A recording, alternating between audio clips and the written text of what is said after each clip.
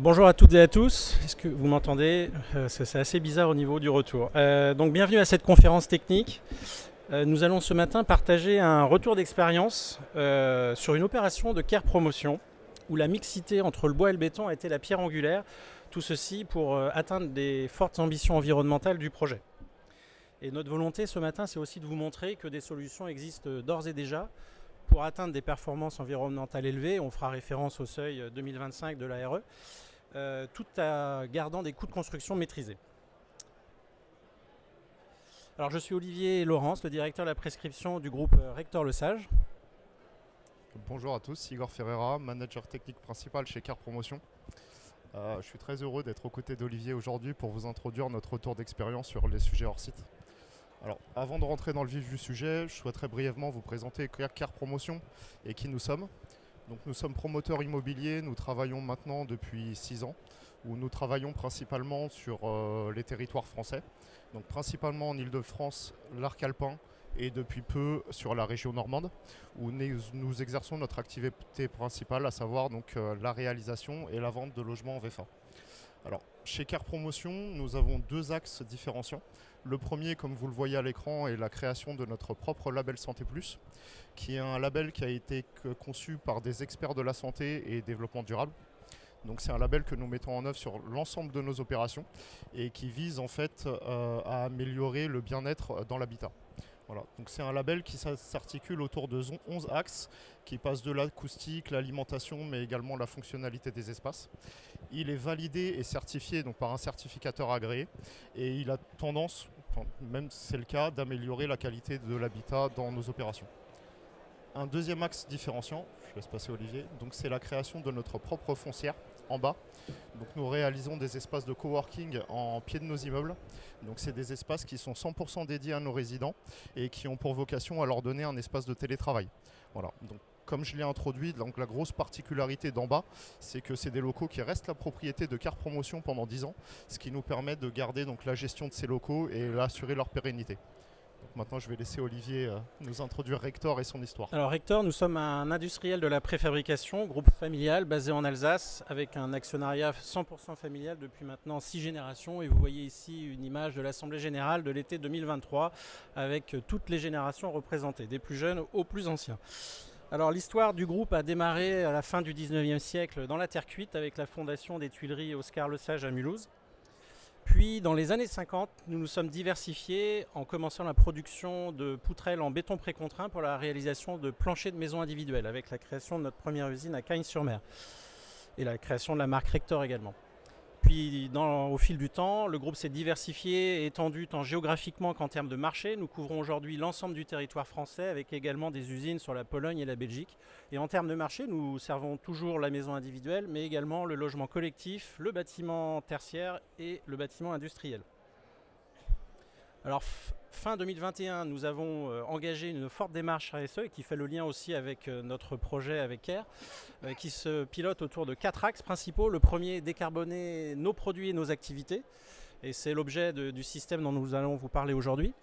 Le deuxième, limiter nos impacts sur euh, l'environnement et la biodiversité, ce qui touche plus en premier lieu nos, sites de production, favoriser le bien-être au travail des collaborateurs et enfin, comme nous sommes un acteur local avec une implantation dans toutes les régions de France, ancrer nos activités dans tous les territoires où nous sommes euh, présents. Alors, nous allons rentrer dans le vif du sujet. Nous allons vous introduire notre belle opération de Bussy-Saint-Georges, donc l'opération demain, son contexte et ses enjeux. Alors, donc la résidence demain euh, est une, résidence donc, qui est située dans la ZAC du Sycomore à Bussy-Saint-Georges, euh, sur le territoire de l'EPA-Marne. Et il s'agit initialement d'un concours euh, qu'a proposé l'EPA-Marne auquel nous avons répondu en 2019. Et la ville et les managers avaient des ambitions environnementales très fortes et nous demandaient notamment de travailler sur trois grands axes, à savoir le climat, la nature et la cohésion sociale. Donc, fort de cette réponse, je la prochaine slide, Olivier, si tu peux passer à la prochaine. Merci. Donc nous avons concentré notre réponse euh, sur plusieurs grands labels environnementaux. Donc on, alors on n'était pas encore à l'époque de la 20 donc nous avons visé une RT12 en fait moins 30, un BBC Énergie 2017, un NF Habitat HQE, donc un biosourcé niveau 1, un BBCA, un E plus C- niveau E2C2, un biodiversity, mais également aussi le label Santé Plus Car Promotion. Donc la résidence possède plusieurs points, plusieurs points forts et quelques spécificités dont nous reviendrons un petit peu plus tard.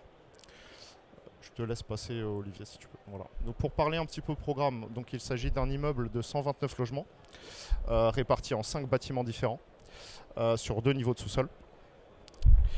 Euh, donc dès la phase esquisse, euh, au vu en fait des économies de matière que nous devions réaliser et des économies de CO2 pour atteindre nos différents labels, la solution que va vous présenter Olivier, qui est le caméléo, nous a paru très appropriée. Donc c'est une solution structurelle euh, dite légère, donc en béton, en prédale, euh, avec une trame de poteaux symétriques les uns aux autres qui sont espacés de 6,5 par 6,5 mètres et qui donne en fait euh, la création de plateaux libres, à l'instar en fait d'une construction de bureau qu'on vient remplir de filières sèches pour réaliser les refends entre les logements. Voilà. Donc euh, ça donne effectivement aussi un bâtiment qui est durable car évolutif dans le fond, parce qu'on peut très bien imaginer que le bâtiment puisse changer d'usage dans les années à venir. Alors cette structure du coup légère euh, est enveloppée elle d'une façade ossature bois qui vient vraiment en manteau euh, pour assurer la partie thermique en fait de ce bâtiment. alors moi j'aime bien parler du bon matériau au bon endroit donc on est typiquement dans le bon cas de figure. Et cette façade ossature bois donc, vient, elle, être vêtue d'un parement éternite de chez Equiton. Tu peux passer, Olivier. Je, vais maintenant vous parler et vous présenter un peu plus en détail le système donc plancher dalle préfabriqué Caméléo qui a été mis en œuvre sur cette euh, résidence demain de Car Promotion. Alors, le système euh, plancher dalle préfabriqué Caméléo, qu'on appelle aussi un système potodal, permet de supprimer euh, les façades porteuses ainsi que les murs de refend, à l'exception bien sûr du noyau central constitué par la cage escalier ascenseur. Et donc, nous pouvons après utiliser des façades qui sont non porteuses, rapportées en matériaux biosourcés comme le bois, ce qui a été le, cas dans ce, projet. Et la suppression des voiles, aussi bien en façade en refend, rend le système très sobre en béton et donc euh, en carbone également, ce qui permet de décarboner le lot structure comme nous allons le voir. Et enfin, comme on a un peu parlé Igor, en supprimant les refends et un grand nombre de points durs à l'intérieur du, bâtiment, on crée un plateau libre qui s'articule autour du noyau et de la trame de poteau, ce qui permet justement un aménagement beaucoup plus flexible pour le promoteur et ainsi que l'évolutivité dans le temps euh, pour s'adapter aux évolutions des usages ou, des besoins. Et in fine, ça permet de créer un bâtiment qui est plus durable, qui n'aura pas besoin d'être déconstruit forcément au bout de 30 ans. Alors, le système Camélo, comment ça marche? Ben, Au lieu d'avoir un plancher qui repose sur deux appuis, par exemple une façade porteuse et un refend, le plancher repose sur quatre appuis, en l'occurrence des poteaux, et ceci sans ajouter de poutres en, retombée. Et la trame classique est de 6 par 6. Sur le projet, nous avions une trame de 6,5 par 6,5, ce qui fait de ce système un système tout à fait adapté aussi à la production de logements. Et toute la complexité du ferraillage induite et inhérente à ce système est gérée en usine de préfabrication pour que la pose reste simple et rapide pour l'entreprise. Alors le système plancher dalle, in fine, est composé d'un plancher à prédale et de prémures pour la cage d'escalier ascenseur. Alors dans le projet avec Car Promotion, comme il y avait de fortes ambitions de décarbonation, nous avons également utilisé une version bas carbone que nous appelons chez Rector les produits Airsoft.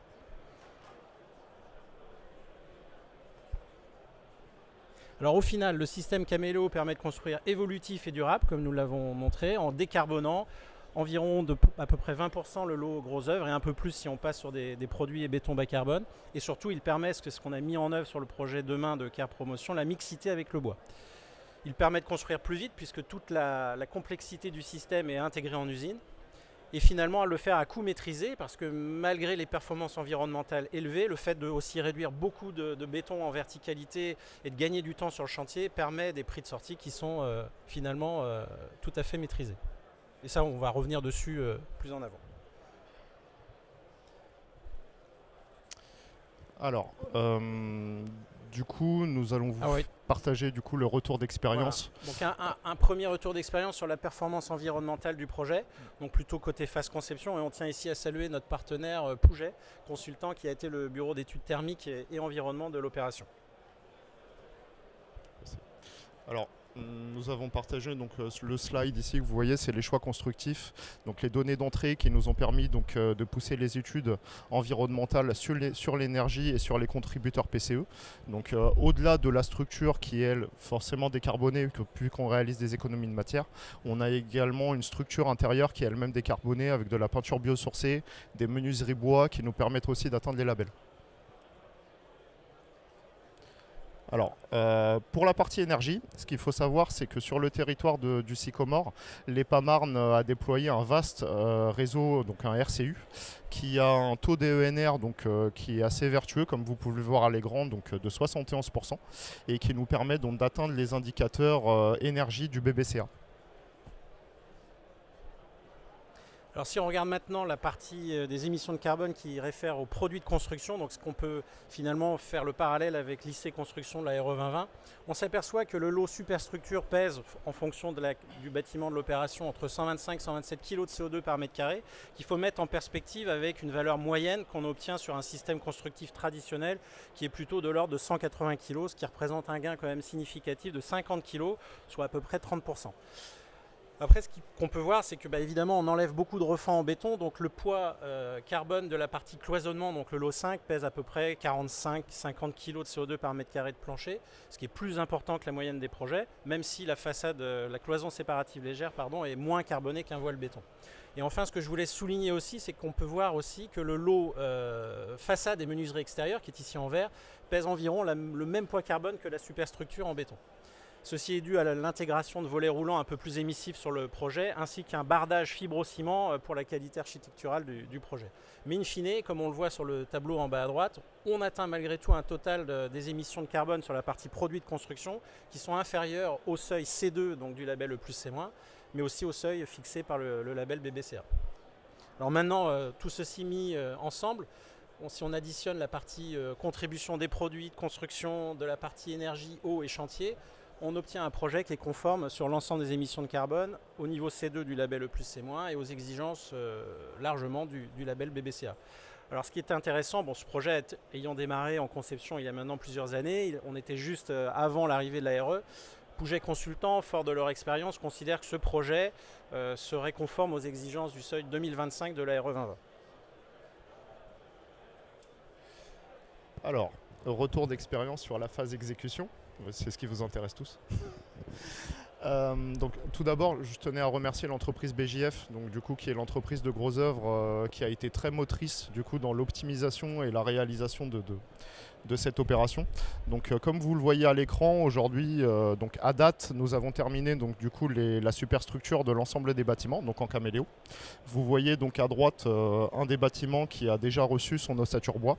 Les autres, donc comme vous le voyez à l'écran, sont les plateaux libres que nous, nous avons présentés en introduction et qui eux vont du coup recevoir bientôt donc du coup les ossatures bois. Je vous laisse passer. Alors, euh, un point important du coup des systèmes hors site euh, et du caméléo, c'est bien entendu le temps de pause. Euh, nous sur ce chantier-là, donc l'entreprise BJF tournait en moyenne entre 12 et 15 équipiers, ce qui leur permettait de, poser 400 à 420 mètres carrés de prédale jour, ce qui correspond à 100, 120 mètres carrés de plancher fini journalier. Donc ce qui est à peu deux fois moins en fait que la cadence classique en traditionnel. Deux fois plus. Ah, deux fois plus. Excuse-moi. Deux fois plus, effectivement. Alors, et un retour du coup des indicateurs sur les coûts de construction. Euh, bon, euh, nous, en fait, le prix au mètre carré de la prédale euh, est un petit peu plus élevé. on est approximativement pardon, aux alentours de 35 euros de plus-value au mètre carré sur le système Caméléo. Mais rapporté à la chaude, gros œuvre, on a un coût qui est bien inférieur, parce que bien évidemment, on supprime tous les refends et tous les voiles de façade.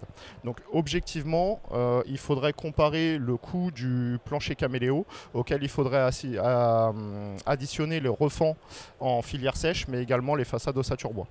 Mais mm, en conclusion, compte tenu des performances thermiques et environnementales qu'on arrive à atteindre, c'est une plus-value qui se maîtrise en réalité plutôt bien.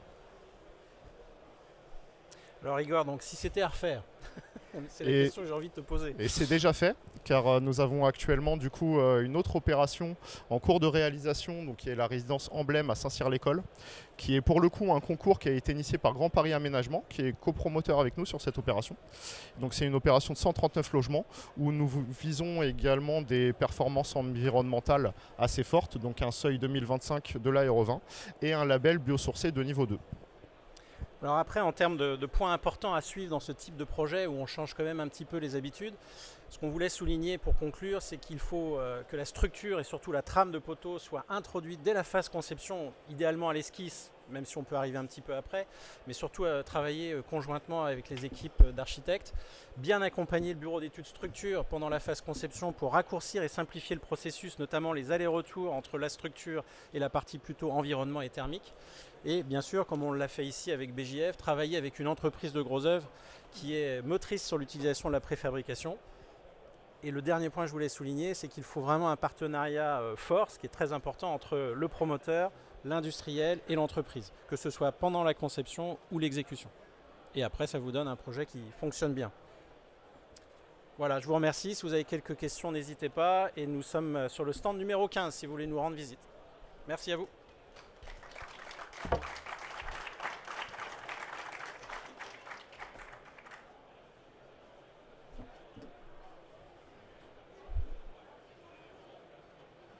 On a été clair.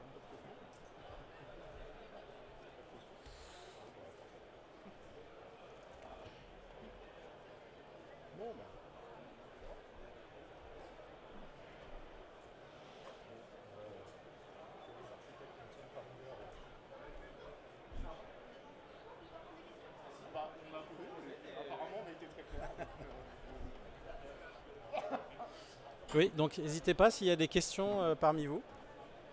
Ah.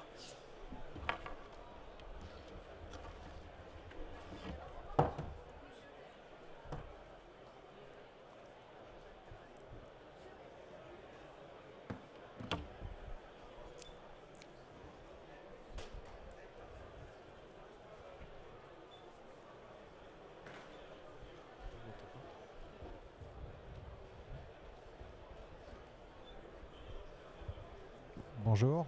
Bonjour. Euh, vous avez parlé de réversibilité potentielle. Est-ce que ça a donné lieu à euh, une intégration euh, des réseaux techniques avec une trame spécifique pour permettre justement cette réversibilité à horizon Je ne sais pas s'il a été défini d'ailleurs cet horizon? Alors, aucun horizon n'a été défini.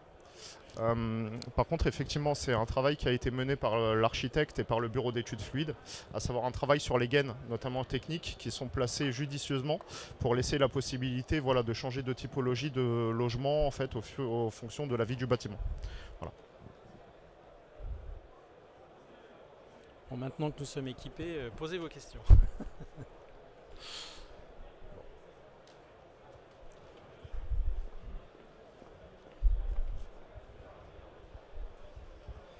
En fait, j'ai une question concernant le coût de, enfin l'impact du coût de construction, parce que euh, ramené à la SHO, est-ce que vous avez fait cet exercice? Vous savez nous dire à peu près quelle serait la plus-value Parce que comme on supprime les, euh, murs de façade, etc. J'aimerais bien savoir, in fine, ce que ça impacte euh, réellement euh, le coût de construction? Parce que ça, c'est une information, je pense, euh, cruciale chez les promoteurs, surtout vu, vu ce qui se passe maintenant, la crise, etc. je pense que ça va être le, le fond du sujet. Je ne sais pas si vous avez fait cet exercice-là. Alors, on a des ratios bien évidemment qui, qui, ont été travaillés. Malheureusement, on n'a pas ramené le ratio des façades euh, du coup à la shot, parce qu'on a une seule et même entreprise qui réalise le macro des façades ossature bois et des revêtements Equiton, et ça n'était pas parlant en fait de le rajouter, de le ramener euh, au prix du mètre carré en fait du plancher. Euh, si je peux parler en chab, voilà pour vous.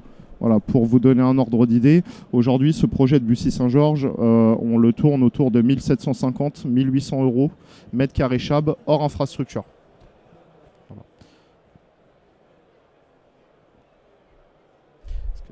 L'avantage qu'on a sur ce genre de conception, c'est qu'on a un bâtiment qui est quand même assez compact euh, du fait du caméléo et qui nous permet de maîtriser aussi les coûts de construction. Je, me permets une deuxième question. Euh, concernant les dalles elles-mêmes, euh, quelle est l'épaisseur euh, finale de la dalle et est-ce qu'il y a au niveau des appuis euh, poteaux des contraintes Vous parliez d'implantation des gaines techniques.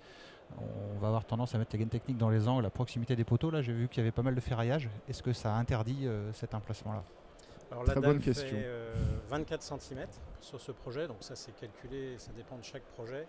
Donc pour faire une référence à un système plus classique, traditionnel, c'est toujours un ou deux centimètres plus épais, euh, puisqu'on fonctionne en diaphragme, on ramène les charges vers les poteaux. Et donc effectivement, on a toute une, série d'armatures au niveau du poteau pour la partie anti-poinçonnement, pour que le poteau ne poinçonne pas le plancher.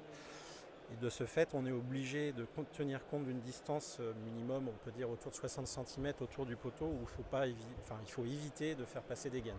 Après, euh, on peut l'étudier à chaque fois s'il y a vraiment nécessité, et ça, demandera d'introduire un ferraillage supplémentaire localement.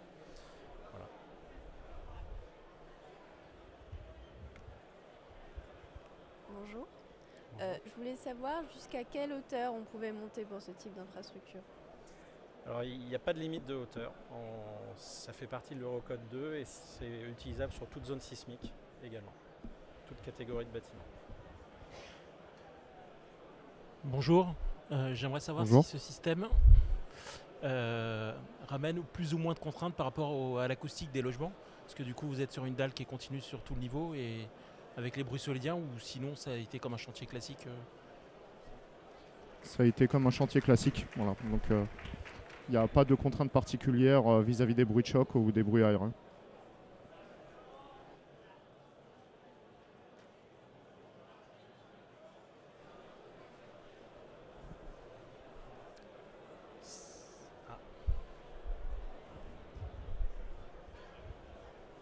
Bonjour. Bonjour. Bonjour. Euh, sur ce type de hum, conception, il s'agit de conception-réalisation euh, parce que vous avez euh, évoqué le fait qu'il faut vraiment avoir dès le départ euh, une conception avec, l'entreprise. Ou... Donc en marché public, est-ce que vous avez des exemples de montage d'opérations de ce type en marché public? Alors, ce n'est pas une conception-réalisation. Igor, je te laisse peut-être compléter là. Non, ce n'est pas une conception-réalisation. Euh, enfin, l'opération a été montée euh, de telle sorte à ce que le, donc la trame du caméléo, donc euh, du, poteau dalle, a été transmise bien en amont en fait dans le cahier des charges des architectes. C'est-à-dire qu'on les a fait travailler, travailler vraiment sur cette trame de poteaux symétriques les uns aux autres. C'était vraiment une imposition qu'ils avaient et chaque, chacun des architectes sont venus avec leur proposition architecturale. Voilà. Et après, ce que je voulais dire, quand il faut intégrer l'entreprise, effectivement, c'est mieux, puisque après, on travaille la partie prix, et donc, euh, en l'occurrence, les parties pré-chiffrage, par exemple, sur ce type d'opération, surtout quand c'est nouveau. Après, on a des projets aussi euh, dans le domaine public, où là, évidemment, euh, en amont, il n'y a pas d'entreprise, mais on travaille avec les équipes de maîtrise d'œuvre et l'économiste de la même façon. Merci à tous. Ah, dernière. Oui, vous n'avez pas de, mur de refend ni de façade porteuse. Euh, est-ce que la rigidité transversale est suffisante et est-ce que votre projet il est transposable euh, un peu partout quoi? Alors oui, euh, pour vous répondre, là on était sur une zone sismique faible, d'aléa faible, donc il y avait juste le noyau central qui servait à contreventer le bâtiment. Sur des projets dans d'autres types de zones sismiques, on est amené à étudier le contreventement spécifiquement et à rajouter, si besoin, euh, des éléments de contreventement euh, de façon perpendiculaire en plus du noyau.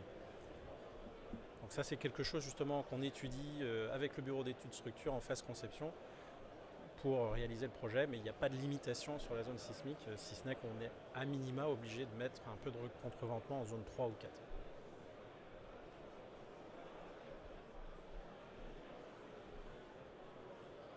merci à tous et merci à pas tous. nous voir.